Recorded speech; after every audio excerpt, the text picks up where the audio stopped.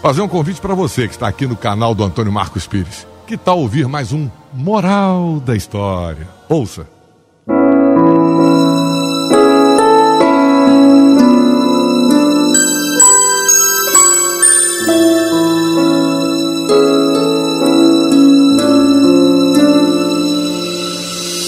Era uma vez um rapaz que ia muito mal nos estudos. As notas e o comportamento desse rapaz eram uma grande decepção para seus pais, que sonhavam vê-lo formado e bem-sucedido na vida. Um belo dia, o bom pai, vendo que seu filho precisava de um incentivo para se dedicar mais aos estudos, fez o seguinte acordo: Meu filho, meu filho, chega aqui. Se você mudar seu comportamento, se dedicar aos estudos e conseguir ser aprovado no vestibular para a faculdade de medicina, meu filho, eu lhe darei um belo, mas um lindíssimo carro de presente. O rapaz, ouvindo aquilo, ficou muito feliz. E como queria muito um carro, acabou mudando da água para o vinho.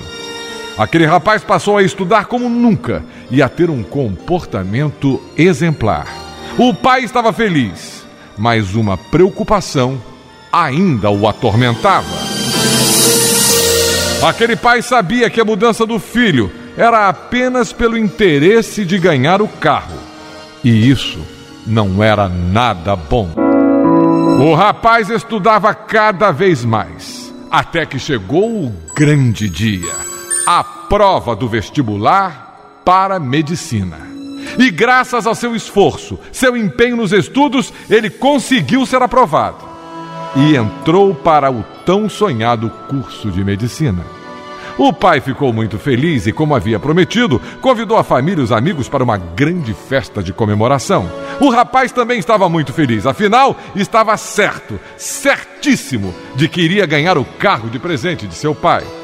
Durante a festa, o pai elogiou o resultado obtido pelo filho, as suas conquistas, e passou às suas mãos uma caixa, uma caixa de presente.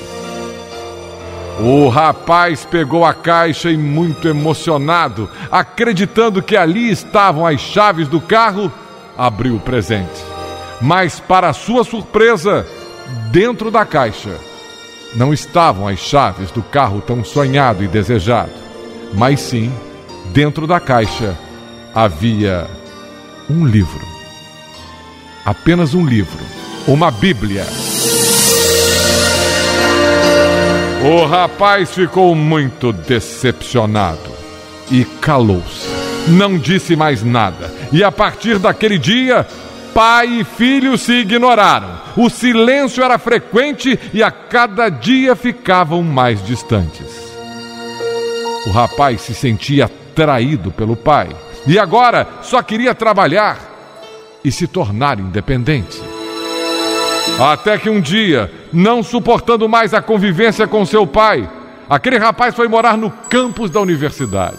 E assim ficou mais distante ainda da família. Nem notícias ele mandava. O tempo passou. Aquele rapaz se formou médico. Conseguiu um emprego muito bom e se esqueceu completamente da família. O pai ainda tentou reatar os laços com o filho, mas todas as tentativas foram em vão. Ele acabou entrando numa grande depressão. Até que um dia, já com uma certa idade e com a saúde debilitada, aquele pai não resistiu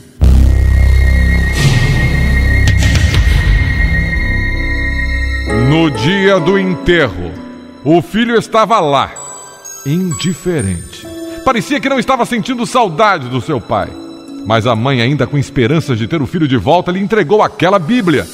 Aquela do dia da formatura, que tinha sido o último presente do pai e que o filho, ao recusar, deixara para trás.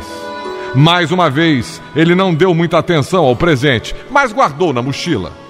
Na volta para casa, o rapaz, agora médico, um médico famoso, um médico de competência reconhecida, mas que nunca tinha perdoado o pai, pegou a Bíblia e notou que dentro dela havia um envelope. Achando estranho, abriu o envelope e, para sua surpresa, encontrou uma carta e um cheque. A carta dizia o seguinte: Meu querido filho, sei o quanto você deseja ter um carro. Eu prometi, e aqui está o cheque para que você escolha aquele que mais lhe agradar. No entanto, fiz questão de lhe dar um presente ainda melhor: a Bíblia Sagrada. Nela, você aprenderá o amor a Deus e a fazer o bem, não pelo prazer da recompensa mas pela gratidão e pelo dever de consciência. O filho, com o coração partido e cheio de remorso, aquele médico famoso, não sabia nem o que dizer. Afinal, fora ingrato com seu pai. E agora, era tarde demais para pedir-lhe desculpas.